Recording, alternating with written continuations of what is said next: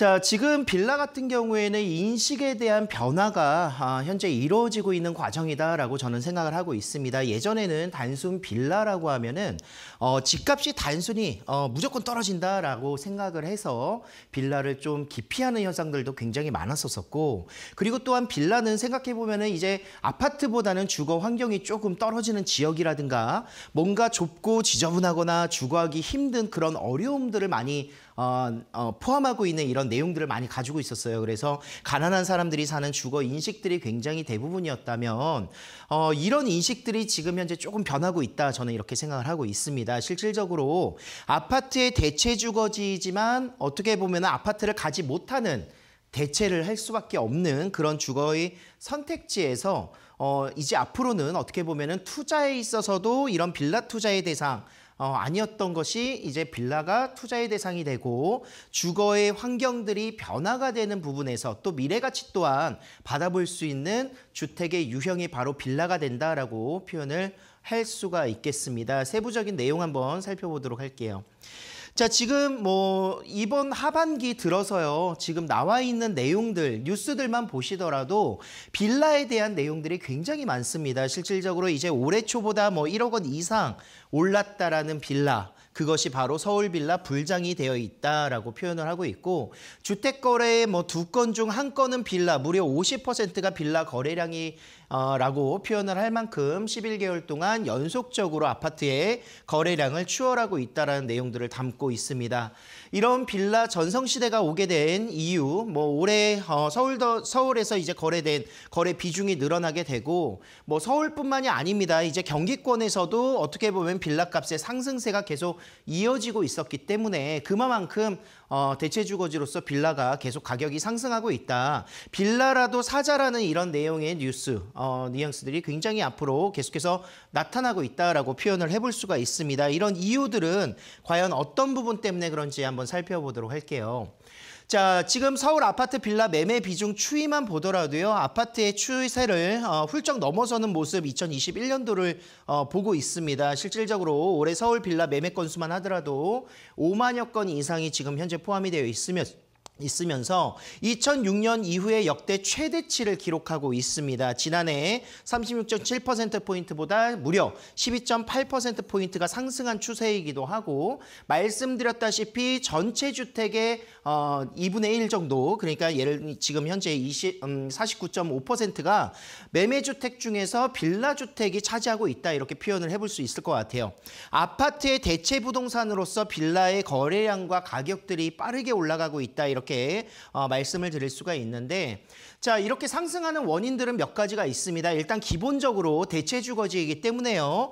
아파트 가격이 비싸지게 돼서 어, 구입량이 떨어지게 된다면 대체 주거지의 수요가 올라갈 수밖에 없는 자연스러운 현상들 아파트 가격이 지금 현재 평균가 12억을 기록하고 있습니다. 그래서 이런 아파트를 대체할 수 있는 주거지로 어, 빌라를 선택하고 있다. 그리고 또한 어, 아파트를 선택을 못한다면은 조금 더 싼 아파트들이 밀집되어 있는 수도권 지역이라든가 외곽 지역으로 넘어가야 되는데 서울을 선호할 수밖에 없는 요소가 몇 가지가 있습니다. 어, 일단 좋은 직장들이 밀집되어 있고요. 그리고 어, 좋은 대학군이라든가 또는 자녀들을 뭐 중고등학교 교육하기에도 굉장히 좋은 학군들이 어, 서울에 밀집되어 있기 때문에 직장과 학군들을 고려한 서울에서 거주를 해야 되는 목적이 꼭 있어야 되기 때문에 외곽으로 나가는 아파트 수요가 있는 만큼 어떻게 보면 서울 내에서도 거주를 하기 위한 또 아파트를 못 가기 때문에 빌라를 어, 거주해야 되는 이런 목적성이 생긴다라고 말씀을 드릴 수가 있을 것 같고요.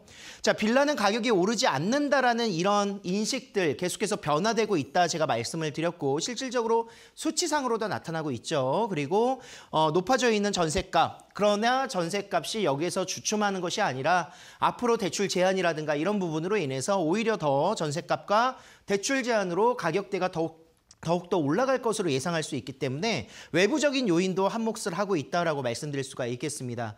또 부동산의 정책적인 부분, 규제들이 계속해서 아파트로에 지금 현재 집중화되고 있는 현상들이기 때문에 투자에 대한 수요, 실질적으로 주택 가격이 상승하려면은 실거주 수요뿐만이 아니라 외부의 투자 수요까지 어, 같이 함께 움직여야 되는데 이 투자 수요도 지금 현재 예전에는 보지 않았었던 빌라들의 투자 수요가 또 몰리고 있는 상황 속에서 가격이 올라갈 수밖에 없는 요소를 많이 가지고 있다 이렇게 볼 수가 있습니다.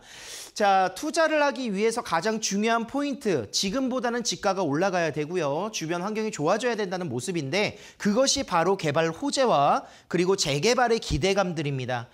어, 실질적으로 최후의 이용을 하고 있는 아파트 같은 경우에는 재건축을 기대할 수밖에 없고 빌라 같은 경우에는 재개발, 아파트가 될 수 있는 지역이 될 수 있는 노- 요소를 많이 가지고 있기 때문에 재개발의 기대감과 개발 호재를 통해서 지가가 올라갈 수 있는 이런 기대감이 투자 수요의 증가로 나타나고 있다 이렇게 볼 수 있고요.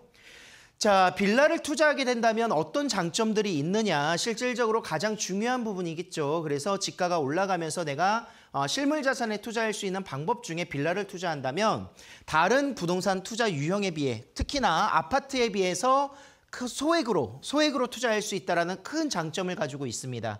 어, 아파트 투자하려면 기본적으로 서울권 내에서 투자를 하시더라도 기본적으로 5억 원 이상 뭐 내외 정도는 필요하다 이렇게 평가를 하고 있고 수도권 지역도 2, 3억부터 투자 금액이 필요하다 이렇게 보고 있는데 어, 빌라 같은 경우는 서울권에서 인기 있는 뭐 강남권을 대표로 어, 말씀을 드린다면 뭐 5천에서 6천만 원 정도로 투자가 가능하기 때문에 어, 상대적으로 아파트에 비해서 소액으로 투자할 수 있는 장점을 가지고 있고요. 자, 전세가율이 굉장히 높죠. 음, 뭐 아파트보다 당연히 투자 금액이 적다라고 말씀드렸기 때문에 뭐 적게는 80% 90%까지 신축 빌라일 경우에는 전세가율이 높게 형성되어 있습니다. 그래서 자기 투자금이 굉장히 적게 들어갈 수 있다라는 것 이것은 바로 내가 리스크를 줄일 수 있다는 장점이 되겠습니다. 특히나 외부의 요인으로 인해서 임대 가격이 많이 떨어지게 된다면 큰 리스크를 어, 얻을 수밖에 없는 것인데 이렇게 전세가율이 높고 자기 투자 금액이 적고 임대가 또한 변동폭이 아파트에 비해서 적습니다. 그래서 이러한 변동폭의 최소화로 인해서 리스크를 최소화할 수 있는 장점을 지니고 있다라고 말씀드릴 수 있겠고요. 자, 공급보다 수요가 빠진다면 실질적으로 공실이 발생될 수 있고 전세가가 월세가가 떨어질 수 있는데 서울 지역 같은 경우에는 수요의 밀집화 현상으로 인해서 뭐 좋은 직장과 좋은 학군들이 있다 그랬죠. 그래서 어, 그런 리스크, 공실률을 최소화할 수 있는 안정성에서도 보장되어 있다라고 볼 수가 있겠습니다. 자, 특히나 신축 같은 경우에는요, 아직 주택 임대 사업자의 등록이 가능하기 때문에요, 3년 동안의 유예를 통해서 뭐 취득록세 감면 혜택이라든가 각종 세금 혜택에 또 어, 온전하게 혜택을 볼 수 있습니다. 그래서 주택 임대 사업자를 등록할 수 있다라는 신축 빌라 장점. 아파트는 투자가 안 되죠. 그렇기 때문에 이런 부분들도 장점이고요. 자, 공식 지가가 굉장히 실질적으로 같은 공동주택의 아파트에 비해서 낮게 구성되어 있습니다. 그래서 어, 투자를 하시더라도 공시지가 종부세 걱정 또 많이 하실 거예요. 그렇지만 어, 일반적인 시가보다 거의 뭐 50% 60%의 공시지가를 보여주고 있기 때문에 종부세에 대한 부담도 덜 수 있다라고 표현할 수가 있겠습니다. 자 마지막으로 노후되어 있는 지역들이 밀집되어 있는 곳이 빌라 들이 어, 포함되어 있기 때문에요. 재개발의 가능성이라든가 앞으로의 그런 향후 발전 가능성에 있어서의 높은 수익까지도 실현할 수 있는 지역이기 때문에 어, 역세권을 보시거나 또는 입지가 잘 갖춰져 있는 인프라가 잘 갖춰져 있는 빌라 또는 오피스텔 이런 지역들 그리고 또 앞으로 재개발이 될 수 있는 지역까지 조금 더 어, 접근해 볼 수 있는 다양한 어, 그런 모습 속에서 투자처로서도 또 실거주로서도 요즘은 어, 굉장히 아파트 못지 않게 나오고 있는 부분들이 굉장히 많거든요. 그래서 빌라의 인식들은 계속 변화가 되고 빌라의 가치는 더욱더 상승할 것이다. 이렇게 정리를 해보겠습니다.